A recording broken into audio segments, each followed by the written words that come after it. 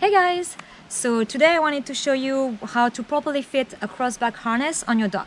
So I receive a lot of uh, questions on social media and I see a lot of people asking uh, questions in groups about whether the harness that they just received is a good fit for the dog. Uh, today I wanted to show you what is a good fit and uh, when a harness is either too big or too small.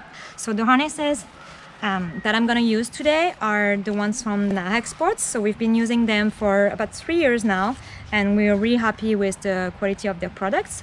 Uh, so that's an amazing company based uh, in Quebec.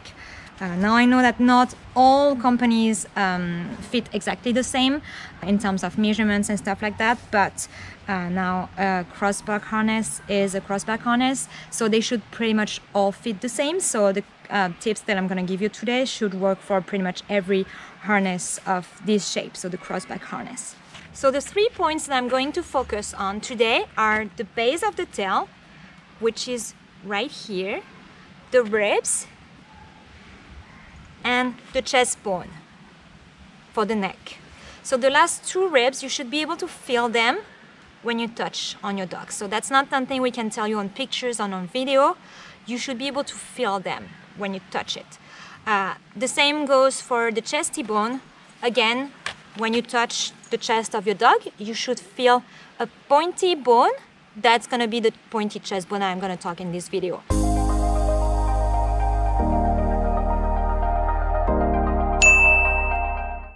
So when there is no tension pulling on the harness, the harness will go up on the back like that. So if you want to make sure the harness fits, you need to pull on the harness up to the tail like this. So when you pull on the harness horizontally like I'm doing right now, the end of the harness should end up right on top of the beginning of the tail. This way the harness should fall on the last two ribs here.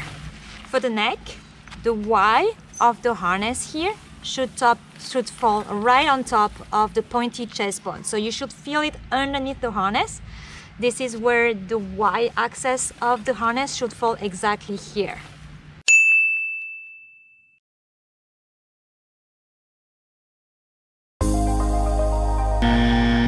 Now, if the harness is too small, the harness will fall before the beginning of the tail. Like here, obviously, you're missing at least this size. But so you're missing a lot of it here on the end. So obviously here it's too small. The consequence would be uh, that it will come too high on the shoulders. So here it's gonna rub underneath the shoulders, uh, the underneath the armpit of your dog, which is gonna be bothering them. For the Nike, uh, it is gonna be going to be too tight uh, obviously here I'm even having a hard time trying to fit uh, the harness on his neck, uh, but you should feel that it's gonna be too tight. So the chesty bone here is way underneath, so I can feel it here, which as you can see, it should be right here, but I'm feeling it underneath here. So um, what it's gonna do is that when your dog pulls, it's gonna put some pressure on his throat. So your dog will have difficulty breathing and it will cough. So it will not be comfortable for your dog.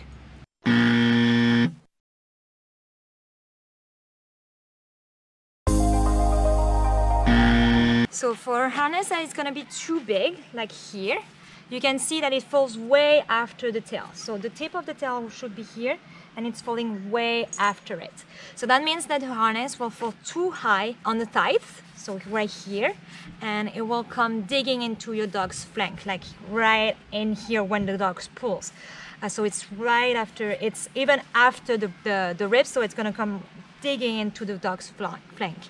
Uh, so we will rub on that area and will not be comfortable for your dog. For the neck, a harness that is too big will most likely fall under the pointy chest bone. So I can feel the pointy chest bone and the Y of the harness where it should feel just on top of it, it's actually under the pointy chest bone. So it will mean that it will put some pressure on the shoulders when the dog pulls. So you don't want that.